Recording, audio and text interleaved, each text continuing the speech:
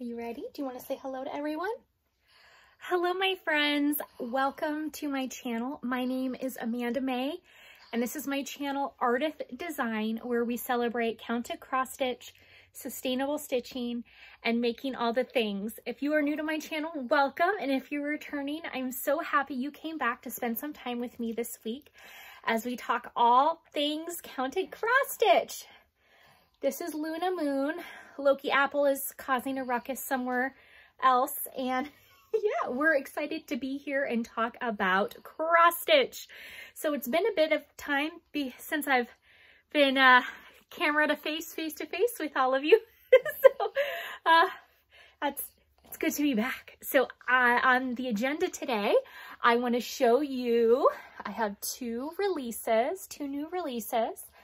I have a bunch of finishes. I have been stitching, stitching, stitching, stitching. So I have a bunch of things to show you. A couple of them are fully finished and uh, a lot of them are just, well, they're finished. I didn't even, I just realized I didn't even iron a lot of them. So, so to start with, should we show new releases? She doesn't know what we should do. Okay, I've been super duper busy, like really, really busy because October 16th, I am going to be a vendor at the Needlework Emporium in Bethesda, Maryland. It is a needlework show and there's going to be like a lot of antique sewing stuff, vintage clothing, fabric threads. I will be a cross stitch vendor booth. Uh, and I would love it if you wanted to come out and see. And you know what? I have a video to show you what I've been up to in my craft studio. And I'm to insert that right here.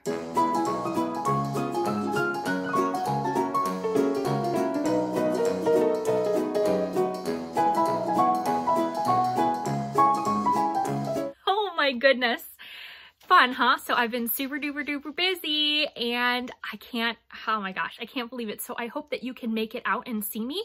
I will be wearing my mask. Uh, it's um, the Montgomery County requirement here in Maryland. And there, but there's going to be plenty of parking on the weekend. So come, it's free admission. The, like I said, the only requirement is that you have to wear a mask. So if you want to come, and it's again, also like sewing, textile related stuff, not just cross stitch, but I will be there with cross stitch stuff. And with that, I want to show you a couple of my new releases. So these are going to go up at Needlework Emporium. That's where they're debuting. Well, I'm debut I'm showing them to you here on this channel. But the first opportunity you will have to purchase them will be at Needlework Emporium. So I wanted to show you. So first, first is, ah, yay, this is the third in the Chesapeake Bay Treasure series that I started. The first one was the Maryland Blue Crab, second was Blue Heron, and the third one is called Island Ponies. Yay! So I dyed the fabric myself. So there's it's going to be released as a kit. There's going to be the the ribbon, the silks, and the fabric. It is 18 count fabric. There's also the the charm, the little horse charm, and the backing fabric, not the wool felt. I did something different, um, but the backing fabric too. So that's going to be, yay, on um, the new cross stitch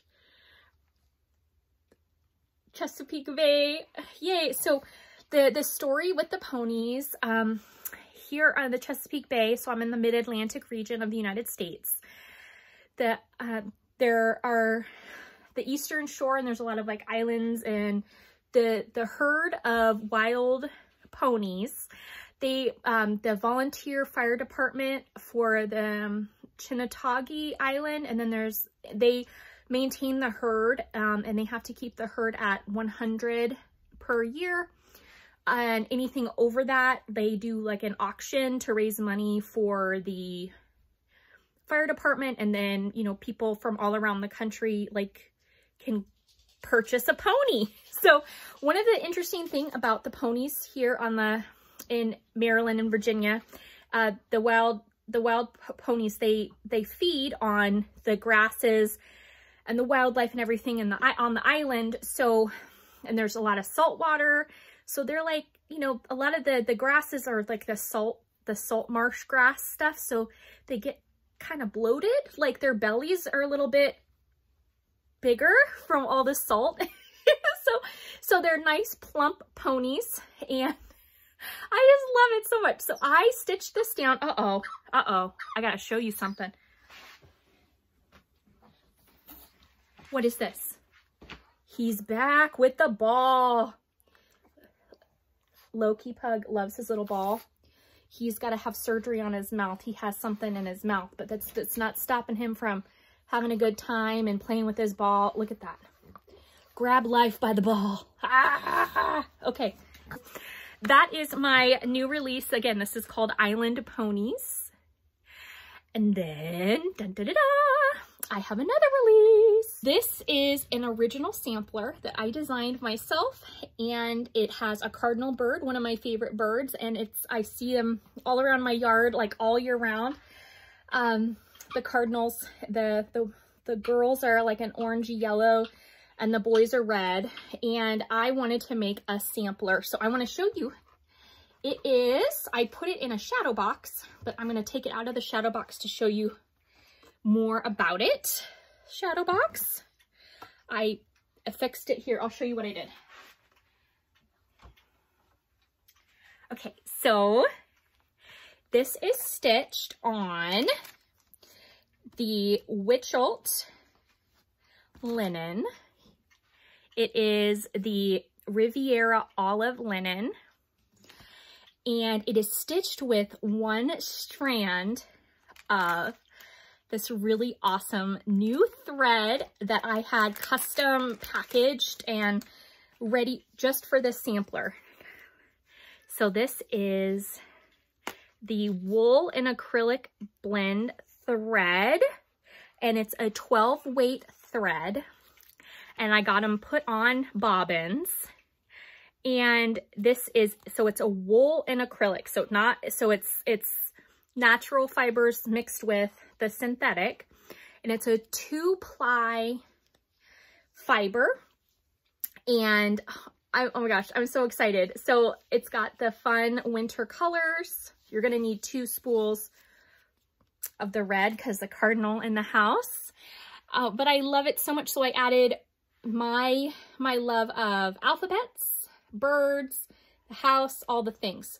So say you wanted to stitch this and you want to frame it, well, you'll be, you could, if you take, if you don't do this, the six rows of the, the, the snow here, this fits in like a, a frame, like a license frame, like um, cosmetology license frames that's a 5 by 5 by 8.5 frame. And I'm going to get the frame and show you what I'm talking about.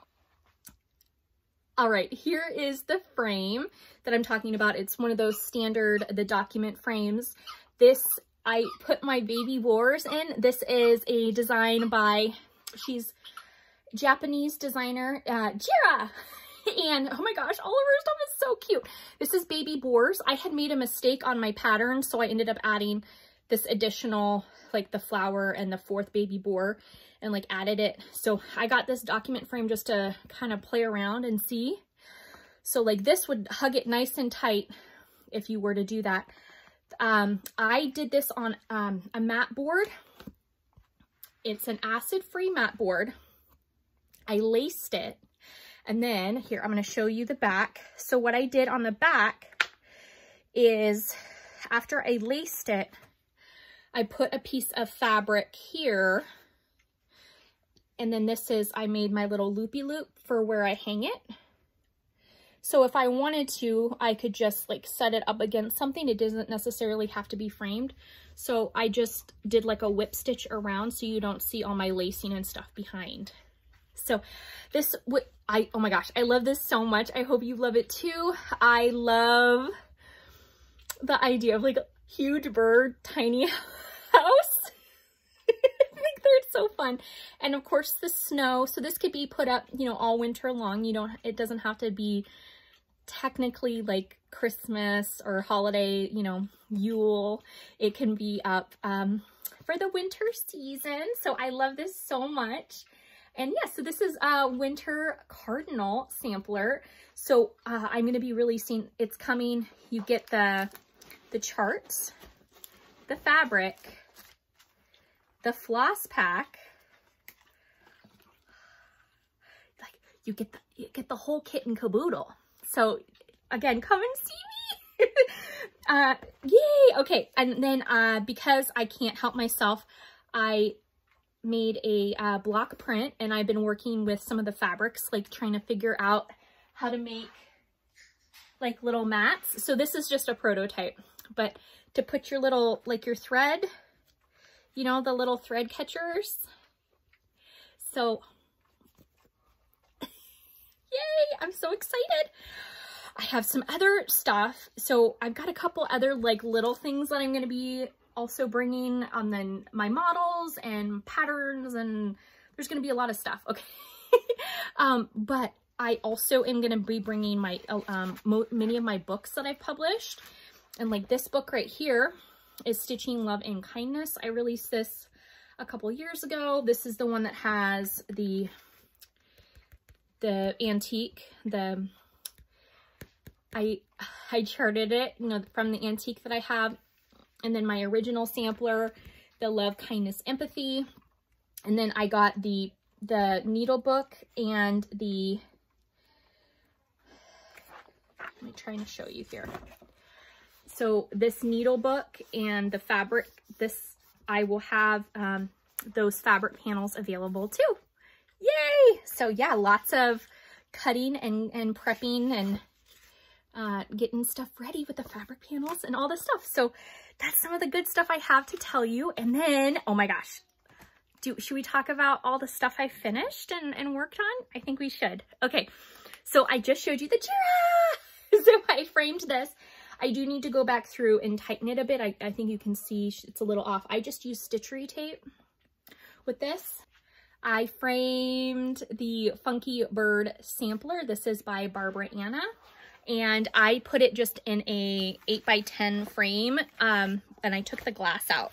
So this is, uh, you can get it on Creative Poppy. So I use the Cream Lugana fabric. I started it in June. I finished it August 17th and then fully finished it uh, a couple weeks ago. So I love it so much. It's with two strands of DMC, the called for.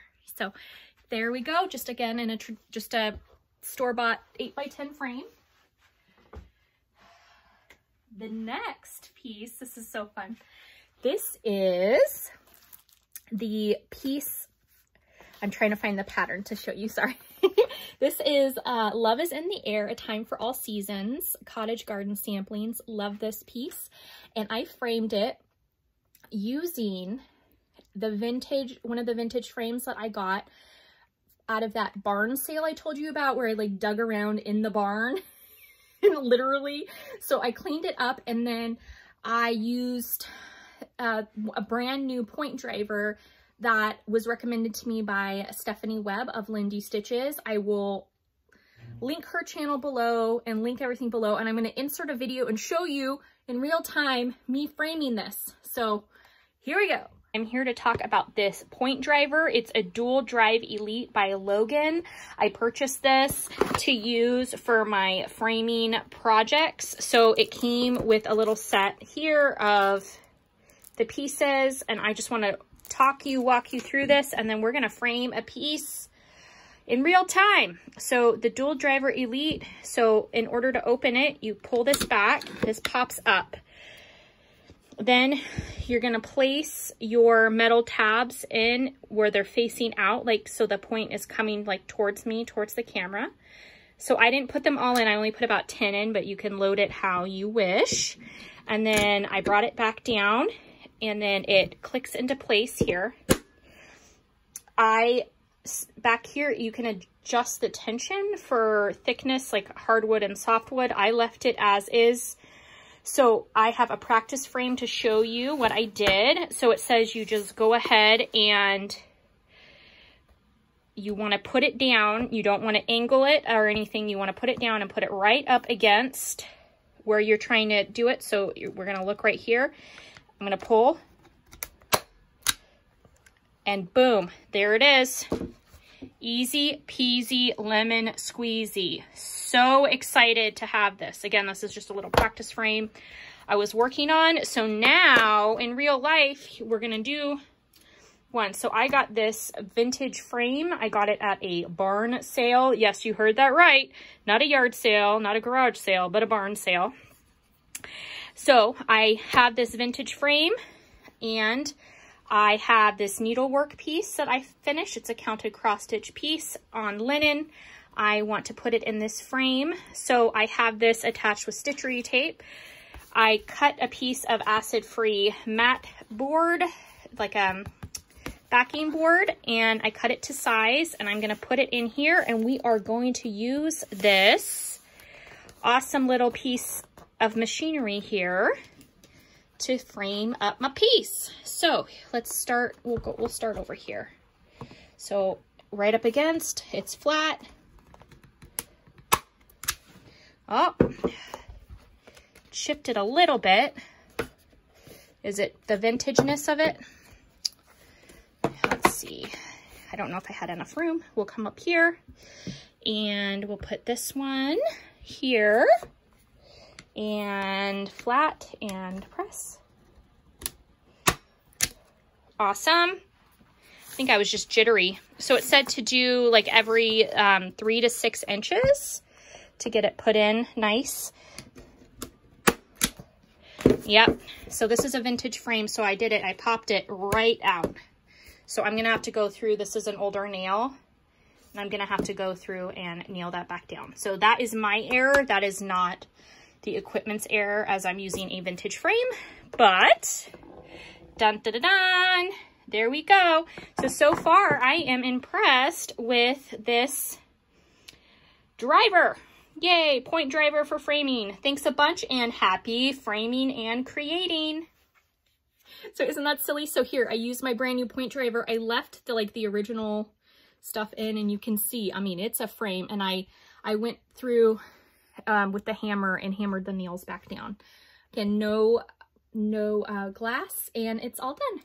So those are my fully finishes. And then I finished a lot of other stuff. I know. I can't believe it. Uh, yeah, I, I just, but I have to show you. It has to happen. All right. I am seeing what we, what I should talk about first. I use the men's trouser things to hold my stuff that hasn't been fully finished yet. I don't necessarily have an under the bed box. I have a um, tuck away in my closet stash. Tuck away in my closet hang hangers. I gotta think of a cool little little thing to say. Okay, this is my finish of, oh, isn't he so cute? This is a P. Buckley Moss pattern. I started this a couple years ago when I was still super duper brand new to the wonderful world of half stitches, fractional stitches, all the things. So it, it was definitely interesting to get back to this and see the difference in my stitching. I did finish it up and I added the specialty fibers. I got this and it came with someone else had started the stitch and then it came with this thread. So I, I used a piece of R&R Reproductions. It was a scrap piece. I bought like a bag of her fabric scraps from Dyeing to Stitch in Virginia Beach. So I used that. I followed all the directions. I, what I ended up just doing, I finished the, the wand. I put the, the threads, all of this in. I used Sulky Poly Sparkle. It's a 30 weight metallic. I used that for the wand and then I used the called for here, but I ended up couching.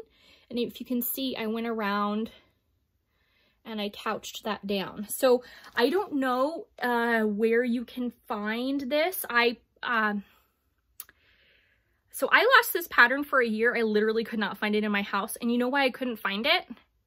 Because I put it in the binder marked Christmas on my needle workbook shelf.